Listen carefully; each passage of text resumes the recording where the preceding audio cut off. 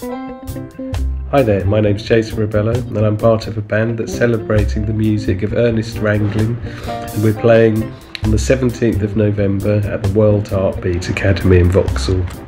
It'd be great to see you there.